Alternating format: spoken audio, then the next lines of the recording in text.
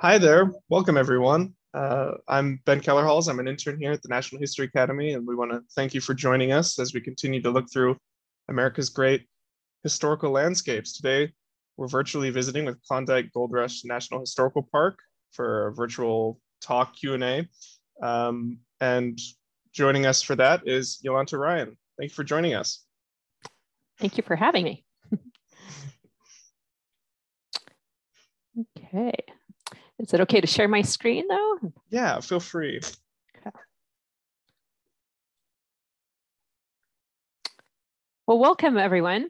So my name is Johanna Ryan. I'm the education specialist here at the Klondike Gold Rush National Historical Park in Skagway, Alaska. And first, I want to say thank you for choosing to learn about our park and the unique history that surrounds the Klondike Gold Rush. Now, the Klondike Gold Rush National Historical Park, also known as KLGO, was established in 1976 to commemorate the more than 100,000 people who tried to make their way to the gold fields in just over a two-year span. The gold rush only lasted from 1897 to 1899. But the gold rush was a significant historical event. So in 1976, Congress passed a bill to preserve four sites to remember the gold rush. Now here at the park, we have three of those sites. And then the fourth site is actually located in Seattle, Washington, our sister park, where many of the Stampeders began their journey. So in this slide here, you can see the town site of Dyea, which is kind of a mud flat area where many of the Stampeders landed. And then they would take the Chilkoot Trail into Canada and into the gold fields which are about 550 miles into Canada. They also landed in the town of Skagway here, which is more of a deep water port. So the big ships could come in, and then they would take the White Pass Trail. And here's a picture of uh, downtown Skagway as it currently looks like, and our visitor center, if you ever come this way. Now, it's difficult to talk about the gold rush without talking about how gold was discovered in the Klondike. And to be clear, gold was never found here in Skagway. Instead, it was found along a tributary of the Klondike River called Rabbit Creek in the Yukon Territory of Canada. So on August 16, 1896, an American prospector named George Carmack, his Tagish wife, Shaw Claw, also known as Kate Carmack, her brother Kish, also known as Skookum Jim, and their nephew Ka Gooks, also known as Dawson Charlie, were traveling south on the Klondike River. Following a suggestion from a Canadian prospector, Robert Henderson, they began looking for gold on the tributary. Now, it was not clear who discovered the gold, if it was George Carmack or, excuse me, Kish. Um, but the group agreed that it was George Carmack because it would appear uh, George Carmack um, because they were feared that the authorities were not sure how they would feel about claim made by an indigenous person. So, and due to the remote location of the Yukon, news of the gold discovery slow, slowly made its way to the lower 48. And it didn't become international news till almost a year later, when two famous ships landed on the docks of Portland, Oregon and San Francisco, California in 1897. The Excelsior docked in San Francisco, followed by a days by Portland and Seattle. In a matter of hours, newspapers were printed with headlines reading gold, gold, gold. Newspapers estimated that miners brought in around $1.5 million worth of gold. That is nearly $33 million today. Now, this would have been exciting news at any time, but it was especially exciting in 1897. When westward expansion had just ended, the country was still suffering a severe economic depression following the panic of 1893. It was reported that half of the country was living at or below the poverty line. People were hungry, people were desperate. So when one of the miners got off the gold ship and told a reporter, the Klondike is no, no doubt the best place to make money that there is in the world, it started one of the greatest stampedes in American history.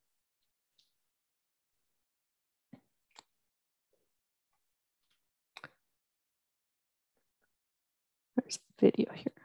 There we go. Now, people across the US traveled to the western ports of San Francisco, Portland, and Seattle to buy passage on the ships sailing north. People quit their jobs and even left their cars in the middle of the street to make their dash to the banks to withdraw funds needed to venture to the Klondike. Even the mayor of Seattle left his job in hopes of finding riches in the last frontier. The majority of people looking to journey to the Klondike went to Seattle. And it's not because Seattle was that much of a better port, but because Seattle which a very successful advertising campaign. Seattle branded itself the gateway to the Klondike, the only place you can buy authentic Klondike supplies. So within weeks, thousands of stampeders loaded themselves on packed steamers and made their way to the Klondike. Now, the journey from northwest coast of United States to Skagway could take anywhere from three days to three weeks, depending on the vessel and the weather in Southeast Alaska. It could still take about a week just getting here from Juneau. Hmm. Men, women, and their families endured seasickness and cramped quarters aboard the, aboard the vessel. As the boats drew closer to the docks of Skagway and Dyea, the thought of landing on solid ground became a delight. Stampeders believed their journey would even get easier as they made their way into town, but they didn't realize how lawless Skagway would be. They had to navigate the town without getting swindled, robbed, or murdered. Shootings were commonplace, and you could hear their noise among the music and the talking within the parlors and the brothels of the red light district. The town of Skagway went from a population of five to 5,000 in just a few weeks, hitting its population peak at about 10,000 in 1898. The tents and muddy trails were soon transformed into wooden storefronts and proper buildings. Muddy streets were lined with boardwalks. The Moors, who homesteaded here in Skagway prior to the rush, had lost control of their land as stampeders claimed the property for themselves. Now, no one could have prepared for the number of people that would come to Skagway. Land and resources were quickly taken from anyone who settled on the land prior to the rush, and it quickly filled with individuals who were seeking to travel one of the trails, or those who had to turn back, and those who had no resources left to make their journey home. The crime and lawlessness was difficult to control. Without a standing police force, control of Skagway fell into the hands of Jefferson Randolph Smith, also known as Soapy Smith. Before anyone realized, he had seized the power of Skagway through his small militia of men who were willing to do his dirty work. Journalists, merchants, and businessmen were all in his pocket, and his influence reached all the way up to the border and onto the trails. And those who were not swindled as they traveled through town were robbed and cheated by Soapy's men on the trail.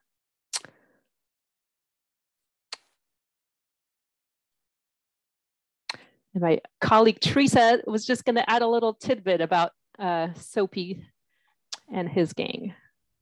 Yes, so hi everyone. Uh, my name is Teresa. I'm an intern with Klondike Gold Rush National Historical Park. Um, and I wanted to take a minute to tell you about the story of Soapy Smith and really why he was so notorious um, for being a gangster in Skagway. Now, Soapy Smith was actually born in the South in Georgia. And this was during the period of time when, you know, the West was kind of lawless and wild, and he wanted to join in on this. So he actually made his journey to Texas and Colorado. And he was trying to be kind of the traditional, let's say, cowboy, making an honest living. But he soon realized he can make a really good living taking money from people who weren't quite as wise in the con arts as he was. Um, so he actually set up a really elaborate con scheme in Colorado. Um, but once the Klondike opened up and he realized that there was gold for the taking from miners who might be traveling up north, he decided to go to the Klondike and he made this statement that he was going to rule Skagway and he was going to be the ruler of this town. So he made his way to Skagway and as Johanna mentioned, he got a lot of people in his pocket. So business owners, uh, miners who maybe were down on their luck or kind of realized there might be more money in working cons than maybe traveling up one of these passes became part of Soapy's network. And so some of the famous cons that he was known for um, was one, how he got his nickname. Um, so Randolph Smith ended up um, creating a soap con for people in Skagway. So he would actually um, sell bars of soap for $5. And he would have this crowd of people he was trying to sell to, but he would actually plant some of his men in this crowd. And he would tell them that if you buy this $5 bar of soap, that there's a chance you're going to find a $100 bill inside of there and he would sell a bar of soap off and it would be to one of his men that were in the crowd and they would open that bar of soap and sure enough they would find that $100 bill. And so people started buying these and he made quite a profit off of this con because the only people who would ever win those $100 would be his men. Another crafty one he had was a fake telegraph service. Um, he actually had a telegraph line that just ran into the woods. It didn't go anywhere. But he told people that he would send out these telegraphs back home. And so people would spend quite a bit of money trying to send messages back to their families. And his people, his men who were kind of in cahoots with him, if you will, would actually write letters back that were fake and make people think they were getting these telegraphs. And he even had copies of, you know, the Masons' signatures and um, some of the other larger groups in the US to kind of fake this paperwork and this documentation. So he was quite smart. Um, he also had a puppy adoption um, ring because he was a con man. People were getting angry that they were taking his money, they were starting to get in you know, that he wasn't the person he was advertising himself to be. So he tried to help women, widows, you know, of men who maybe died on the trails. There were a lot of stray dogs from all the miners who were coming in who maybe were down on their luck and let their dogs loose. So he had a puppy adoption. Um, event and he actually adopted puppies himself. He wanted to kind of give this really good facade for himself. You want to hit the next slide, Johanna? Yep. So things kind of turned on Soapy because, as I mentioned, people became wise to his cons. And this is an image of this vigilante group um, that they called themselves the Skagway 101. Um, and they were trying to take down Soapy Smith. And the night that he died, um, what ended up happening is he was running an illegal card game in his parlor and he took $2,600 um, from a miner. And the miner got very upset by this and he demanded that Soapy return his money to him.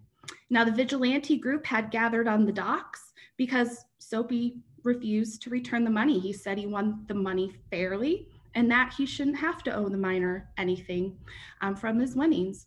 So, of course, the vigilante group is out on the docks talking about ways that they could get Soapy and round him up. And Soapy decided to confront him. And a man named Frank Reid got into an altercation with Soapy on the docks and ended up shooting Soapy um, and killing Soapy immediately. And Frank Reid actually got shot himself and died 12 days later. Uh, but that was the end of Soapy Smith. And after he died, his men kind of dispersed um, from the town. They went their separate ways. But that's kind of the story of this notorious man. And we have the um, Jeff Smith's parlor in town, um, which is the original parlor that he used um, to work his cons, which is now or was once a 10 cent um, dime museum. So it's kind of a cool building if you ever come to visit. Thank you, Teresa. Yeah, so that was the famous Soapy Smith. And now we're going to talk a little bit more after the Stampeders uh, came to Skagway and Dyea. Um, they had to take a trail north. So let's take a moment to look at the map here of the routes the Stampeders could have taken to the gold fields. And your question might be, if there's so many routes, why did so many individuals decide to come to Skagway and Dyea, which are located over 500 miles from the gold fields? And the reason is because of the Yukon River here. So the Stampeders only had to hike about 50 miles to get to the headwaters of the Yukon River, and then they would build their boats and sail down the Yukon River to Dawson City. So the Yukon River was their main draw here. Now, stampeders who landed in Skagway or Dyea had to decide between taking one of the two of the trails le leading to Lake Bennett, which was the headwaters in the Yukon. And as the stories of the journeys the stampeders faced trickled down through journalism, the trails developed notorious reputations. People, re people realized that regardless of the trail they chose, there really was no good choice. As Martha McKeon wrote, one's hell and the other's damnation. So to add to these struggles, the Canadian government required every stampeder to bring a year's supply of goods before they were allowed into Canada. Few of the people headed to the Klondike had any idea what was in store for them. And the Canadian Mounted Police noticed the malnourished state of the stampeders. To, so to prevent the starvation, the one ton law, also known as a ton of goods, was enacted. The supplies required by the government included three pounds of food per day for one full calendar year. This requirement alone would weigh over half a ton. But now if you plan to mine the gold and add the necessary clothes and equipment, you could easily double that weight. So the stampeders not only had to figure out how to get themselves over the trails, but now they had to consider how to get another 2,000 pounds of goods to make it into Canada. Teresa will go in a little bit um, to different ways that they did that. So stampeders had to decide if they were going to take the Chilkoot Trail or the White Pass Trail. Now, depending on which trail they would decide to go on, determined how they were going to carry this one ton of goods over the Canadian border. And so they had a few different options. Um, as you can see on the screen, we have some, you know, pack animals. So oxen, mules, horses were very common, um, especially for people taking the White Pass Trail because it was advertised as a trail that you could use pack animals on. Um, some people decided to use sled dog teams and maybe some odd choices like, you know, a team of goats or sometimes a team of elk. Um, stampeders got very creative in what animals they were utilizing to help them carry these items over the trails. Um, there's even records of somebody using a bear to pull a sled or moose. Um, so it's kind of interesting what lengths they went to um, to help them get these supplies. Another option would be to hire a Tlingit packer. And this was common for people who were hiking the Chilkoot Trail because it was not conducive to pulling wagons. And the reason why Tlingit Packers would have been an option for this trail is because the Chilkoot Trail actually was a Tlingit trading route prior to the gold rush. And so the Tlingit, the native people who were living in the Skagway, Dyea area prior to Stampeders, used this route as a way to do trade with other tribes within the Yukon. So they knew it well, they knew the landscape, the dangers that might come with it. And they were also used to carrying heavy weights over this rough terrain. And the stampeders that were coming to the Yukon, most of them were working in offices or staying at home. They weren't used to such rugged terrain carrying large loads on their backs.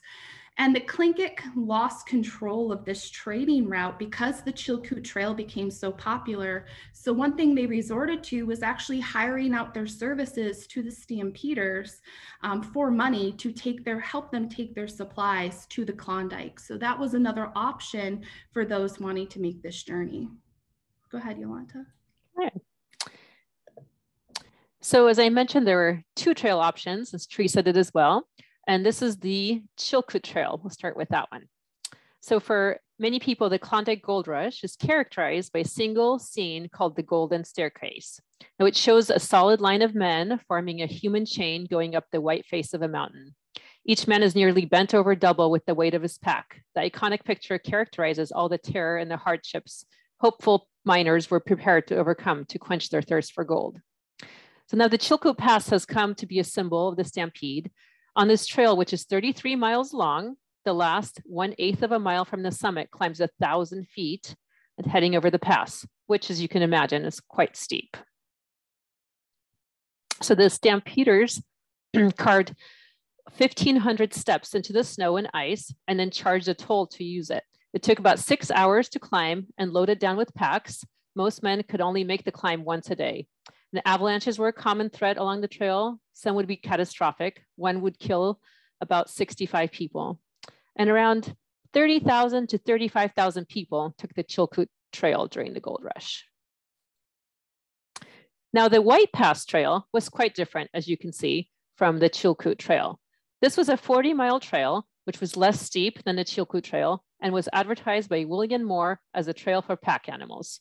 Horse, oxen, mules, dogs, and even mountain goats were used to haul supplies up the summit of the White Pass.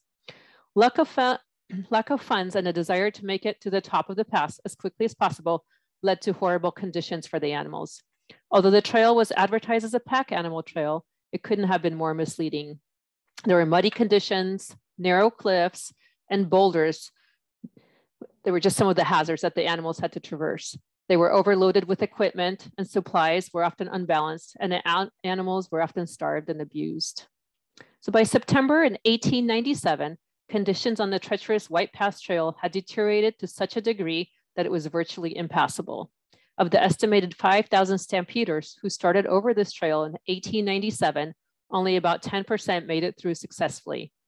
One Gold Rush participant claimed that men are quitting the struggle every day, and as we go along, we see strong men coming back with tears running down their cheeks, completely broken down, and the stream of humanity passes on, paying no heed to their sufferings. On the trail, stampeders faced disease, malnutrition, and death due to murder, suicide, avalanches, and hypothermia. To make matters worse, the trail had become littered with corpses of several thousand horses that had died hauling the supplies through the knee-deep rock and mud. The trail soon earned the grim name Dead Horse Trail. Jack London traveled to the goldfields via the White Pass Trail, and he said it best that the horses died like mosquitoes in the first frost, and from Skagway to Bennett, they rotted in heaps. They died at the rocks, they were poisoned at the summit, and they starved at the lakes. Men shot them, worked them to death, and when they were gone, they went to the beach and bought more. Their hearts turned to stone, those that did not break, and they became beasts, the men of the Dead Horse Trail. Now, this is a little bit more uplifting. Teresa will talk about Harriet Pullen. So the White Pass Trail um, was not all doom and gloom. Harriet Pullen actually became famous for her ability to navigate the White Pass Trail. Um, she came to Skagway with $7 in her pocket but she was very good with horses and she soon found out that she could easily navigate you know a four horse um, carriage through the white pass trail. And so she actually ordered for her horses to be shipped up to skagway from the lower 48 and she used her own horses to um, help people and their supplies get through the White Pass Trail. And that was her day job, if you will. And then at night, she would actually hammer out um, tin pans out of old cans to make apple pies for the miners. And of course, they were going to pay money to get, you know, a fresh baked apple pie, especially out on the trails or in cold Skagway and she made quite a bit of money for herself and she actually lived the rest of her life in skagway and created the Pullen House um, which was a beautiful hotel that was in skagway and she was able to really provide well for her family and her children um, through her entrepreneurial endeavors during the gold rush. And Harriet wasn't the only woman who was able to be successful and made a name for herself during this time period. A lot of women came to the Klondike with their husbands and with their families and using their, you know, business savvy, their smarts, some of them were very successful. Um, for example, you had people like Ethel Berry who came on the Excelsior in 1897 with her family because they were out there mining gold. And she was one of those people who got a fortune out of finding the gold um, in the Klondike. And they actually invested in oil um, in later years. And they were they were very wealthy, well-to-do family now. You also had people like um, Klondike Kate and Belinda Mulrooney, who were mining the miners, which is a term that we use when you kind of help the miners through. And so a lot of women helped with laundry businesses, hotels. So Belinda Mulrooney was considered the richest woman in the Klondike. And she actually opened um, the Fairview Hotel in Dawson, which was the premier um, hotel in the area. It was a three story building. It had all of the luxury um, that you would expect with the hot baths and, you know, great beds. And so she made a large profit off of her mining the miners by opening a hotel. Another great character is Klondike Kate. Um, she's one of my favorites. So she dressed as a man to make her way over the trails and into Dawson. And when she got to Dawson, she realized there's a lot of miners in the city who have a lot of gold. And her way of emptying their pockets was to become a successful dancer. And so she would entertain the men who were in Dawson, and she would just have, you know, outfits with gold nuggets draping off of them and gold in her teeth. And she was just the most well known entertainer in um, the Yukon. And she ended up actually later in life becoming one of the first female Mounties um, in the Yukon. So she spent the rest of her life up there. Um, but she is actually one of the key characters um, in Klondike history and one of my favorite ones. Thank you, Teresa. Now we're going to talk about the journey as they went over the passes.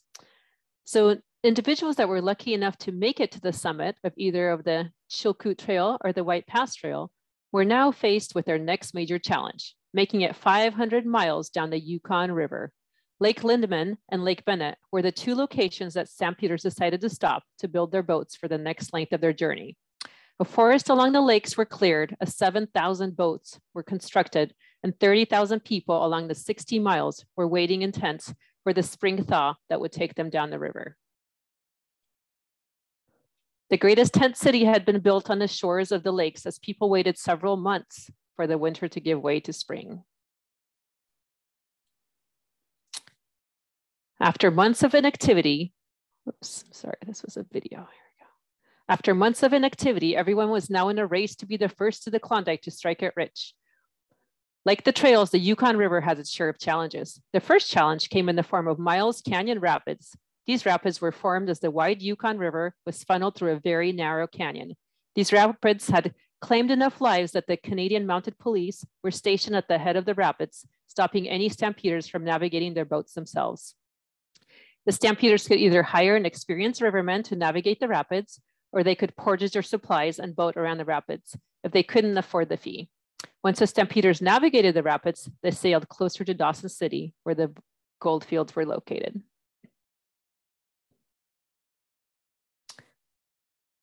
And here's the city of Dawson City once they arrived. Dawson City became known as the Paris of the North. It was the largest city north of Seattle.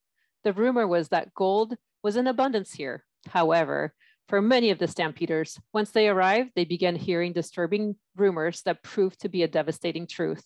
They discovered that most of the gold had already been claimed, and most of these claims were staked before the news of the gold had even reached the lower 48 in 1897. People began making fortunes by mining the miners, as Teresa said. The best food, drink, and clothing were all available for purchase at high costs. The first egg in Dawson sold for $5 and tomatoes sold for $5 a pound.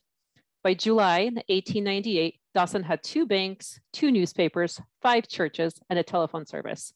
About 30,000 people from the trails and ships had arrived in Dawson with people constantly moving in and out of the city. The city flourished until gold was discovered in Nome Alaska in 1899. And Teresa will tell you a little bit more about that. So the White Pass and Yukon Railroad um, was one of the big turning points for um, Skagway and Dyea and for people who were looking to find a really good route to the Klondike. So the White Pass and Yukon Railroad was built right down Broadway in Skagway. So it was right down the middle of the street. And it went through the White Pass. So we had a train being built on these narrow ridges and these narrow cliffs that not even mules and carts could pass. So the construction of the White Pass Railroad had a lot of obstacles that that the uh, engineers had to face. Um, the timber in the area wasn't good enough to use, so they actually had to import um, hundreds and hundreds of pounds of timber. They had to import hundreds and hundreds of pounds of dynamite. So this was a very expensive project and a very long project. Um, it took well over a year for the White Pass Railroad to be constructed. Um, engineers had to deal with 30 foot snow drifts, um, as you can see in some of these pictures in the winter, um, and trying to find ways to navigate these narrow cliffs. So they had to create tunnels um, and they had to create these bridges across um, cliffs and gorges um, that lie on the trail as well. And so In 1899, in February, so we're talking the middle of the Alaskan winter, that was the first time that the Yukon Railroad uh, made its way to the summit of the White Pass. And in July of that year was when they fully finished the railroad so it could reach Lake Bennett, um, so people could then make their way into Dawson. And the construction of the railroad meant, you know, a solid income for Skagway. So people who were trying to make their way to the Klondike would now come to Skagway only because they can now take the railroad instead of hiking the Chilkoot to get to the Klondike or to get to Dawson. Dyea, on the other hand, died out. So a lot of the businesses left, a lot of the buildings were deconstructed. The Chilkoot Trail got a reputation for being incredibly dangerous because of the avalanches that did occur. So the use of that also died out as well. The Yukon Railroad was used after the gold rush um, to help people get to Dawson. Dawson does still exist, um, and it's the second largest city in the Yukon currently, um, but also was a really um, important factor in supplies. Um, so during World War II, um, providing supplies for the construction of the Alaska Highway, and then also delivering ore to and from the Klondike after that. it became kind of a tourism train in the 1980s, I believe it was 1988, um, is when it started to take off as um, kind of a key tourism point for the town of Skagway and for people who might want to hike the Chilkoot someday. Um, so if you ever decide to come to Skagway, you can actually hike the Chilkoot Trail to Lake Bennett and catch the White Pass and Yukon Railroad from Lake Bennett back to Skagway, which is a very popular option um, when the borders open. Thank you, Teresa. Yeah, and th that actually concludes our presentation, but I did want to end with a plaque that rests near the top of the Chilkoot Trail that commemorates the Klondike Stampeders. And it reads, in 1897, Klondike Stampeders by the thousands funneled over this ancient Indian trail, enduring incredible deprivations and hardships, their tenuous spirit dominating all obstacles, continues to inspire pioneers venturing north to the future. Thank you for listening. And yes, we'll take any questions as well. awesome. What a great presentation. Thank you both. And um, to go through some questions that we have um, that are still coming in, I think uh, right now I'll introduce uh, Anjali Rose, a fellow intern here at National History Academy. Um, and Anjali, perhaps you can get us started with a question. Yeah, of course. Um, so the first question we have for you guys, um, many people have been under the impression that the gold rush was primarily in California. Um, what is the difference between the California gold rush and the gold rushes that happened in Klondike and the greater Alaska area? Teresa, do you know that was a different gold rush in California? I don't remember what year. Do you know much history about that one, Teresa? Uh, it was about 1849, um, around that time period. So it was just earlier uh, than the Klondike Gold Rush. And really, the primary difference was, um, you know, westward expansion had just ended. So you're right, the California Gold Rush did happen. It was kind of the same bit of frenzy um, for people to make their way across the country. Um, it was still a time of adventure at that period. Um, but really, we had expanded as far west as we could here in the lower 48. So when news of the gold being found in the Klondike arose, um, it was kind of this nude excitement of new land. There was new areas to explore. So yes, part of it was about money. Um, it was during a time of a depression when people didn't really have much.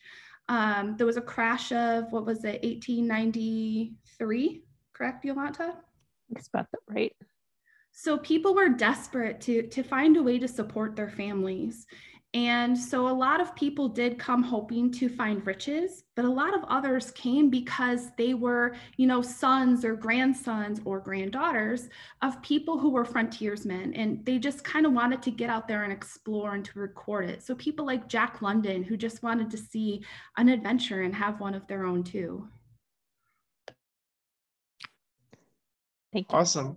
Yeah, thank you. Um, let's see, another question we have. Oh yeah, um, how do you collaborate with local indigenous communities and how do you manage telling those stories at the site?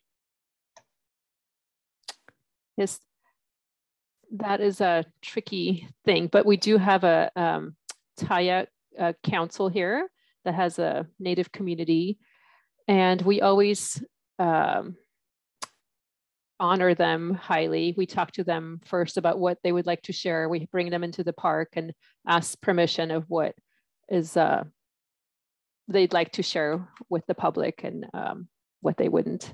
So they're very much incorporated in what we share. And it, it, it was kind of a smaller native community here to begin with during the gold rush. That was more of a trading. Um, people would come from the north and trade their furs with the people, um, the, the, the Tlingit Native um, Americans. Um, they would have like the fish and the hooligan and the oil that they would trade with the furs. So it's just more, more of a trading post rather than a community that was centered here because it's a pretty harsh place to settle.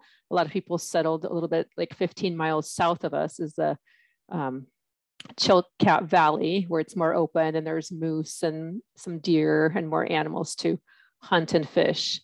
Um, but there are a few uh, native locals here um, still remaining that we do counsel with on a regular basis. If you want to add anything, Teresa, too.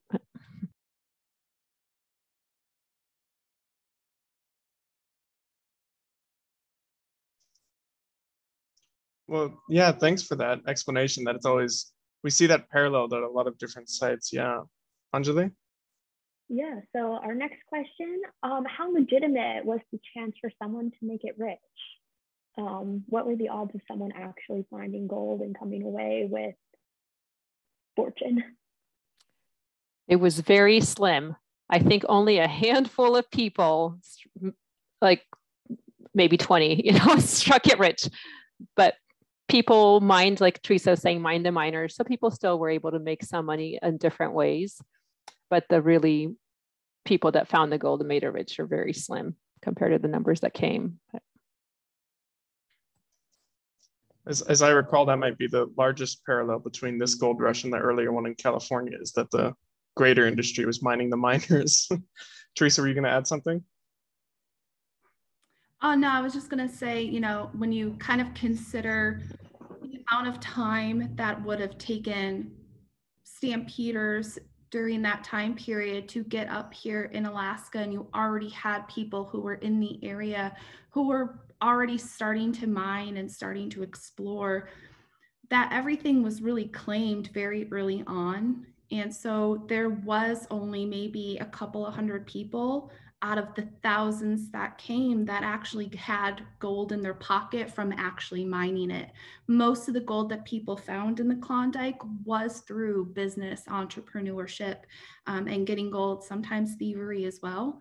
Um, but yeah, working the actual um, river and getting the gold itself, it was already pretty much claimed by the time most stampeders got here. Yeah, that makes sense. Yeah, let's see. Um, oh, here's here's a good one. Um, it, we know that it's often considered that the purchase of Alaska by uh, Seward was called Seward's Folly, and that this was sort of seen as a great mistake on the U.S.'s part. Did this gold rush have a part to play in that perception changing?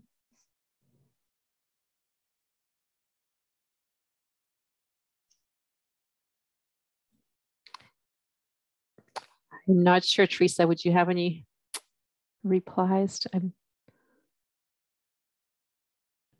No, that's a really good question, but I can't say that I know the direct answer to that.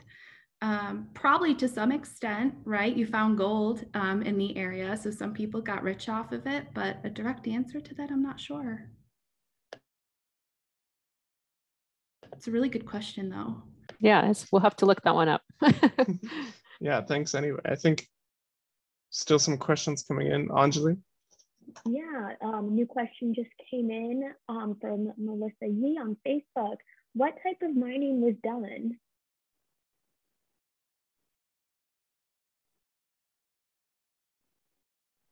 Um, the what I know of is a lot of the pan mining. Um, mm -hmm. Yep, Teresa, do you, did you? I think that was mostly how it started. You know, now they've developed. They're still mining up in the Yukon um, with dredges and a lot more excavating and um, water sluicing. And but I think it started off with just a gold pan, as I'm aware of.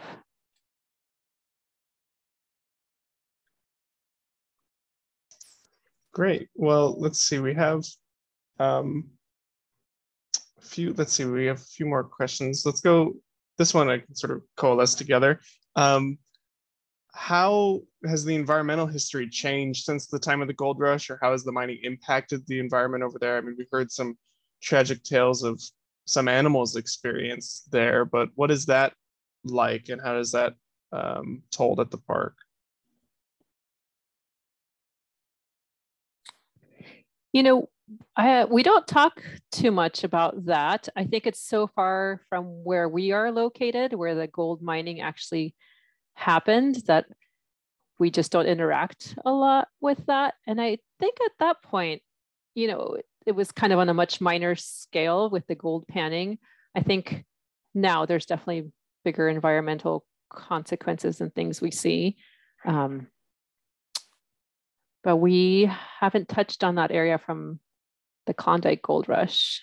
Do, do you know much, Teresa? Have you heard much? We both started recently this year, so we're still learning. So really the main environmental impact um, was a what all of the traveling did to the trails. Um, it just pretty much destroyed the trails, um, kind of similar to what a lot of parks are experiencing now when you have this um, kind of overwhelming population increase over these small trails. It, it, does a lot of ecological damage to plants and trees, um, but also thinking about the amount of lumber that these men had to use. Um, so building their ships on Lake Bennett, the area was almost entirely um, deforested to build the ships to sail down the Yukon. Same with Skagway. Um, if you come to Skagway now, you'll see a lot of trees in the areas of um, lower Dewey Lake, in the areas surrounding the town. But at one point, they were completely cleared and cleared to the point that the rock cliffs were actually used um, as advertisements. So you'll still see some graffiti up there um, from the Stampeders advertising their businesses because you didn't have the trees in the way.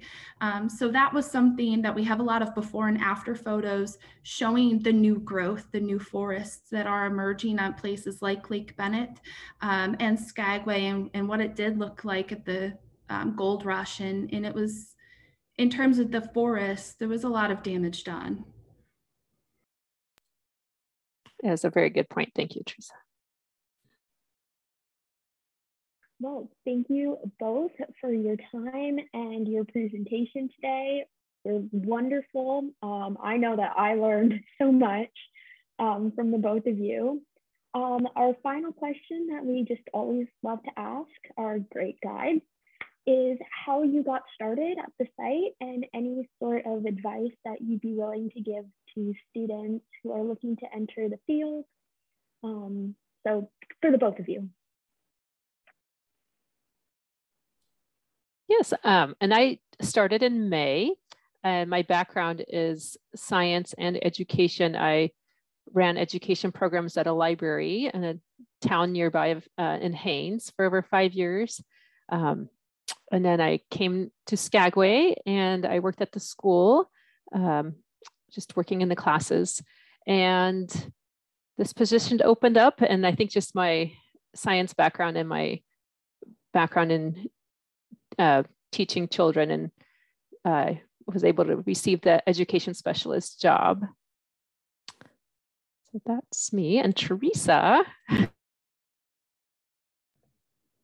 Yeah, so I actually um, am just finishing up a six month internship um, with um, KLGO. And so for me, um, I actually got my bachelor's in um, historical sociology. And I actually worked in higher education. So I'm a little bit, I'm a career changer, um, which is becoming more common. so if you don't have it figured out right away, it's totally okay. Um, but I decided to go back and get my master's in environmental science. And so I'm currently finishing up that. And as of Monday, I will be starting my first official position with the National Park Service. Um, so it's definitely doable, um, but the internships were a great way to learn about the NPS, um, just government jobs in general too, and what to expect and really get that hands-on experience. So I would highly recommend it if anybody was to consider um, a career move to, you know, doing something like we do now. Awesome. Well, oh, oh, you're. Oh, go oh, ahead. oh, I didn't know if Teresa, you mentioned you she was an intern for the SCA, the Student Conservation Association. So that was a great way to get in. And there's, I think, a few other internship opportunities. Teresa, you might. Um, it's really great for, um, I think it's 18 to 30 and it's great for students who are going to just be starting college or getting into college. Um, and the SCA also has opportunities for high school students too, I believe. So if they wanted to take a look at it, it might be a good segue for them. Well, awesome. We want to thank you guys so much for, we really appreciate your time and you've given us such great amount of information, but Teresa and, and Johanna, thank you guys so much. Well, you're welcome. Thank you for listening, sharing our story. And then for uh, all our viewers at home, thank you for tuning in. And we hope you get the chance to check out the site in real life sometime outside of Zoom and uh, continue to join us at the National History Academy as we continue to explore America's great historic landscapes. And uh, say, see you same time next week. Thanks.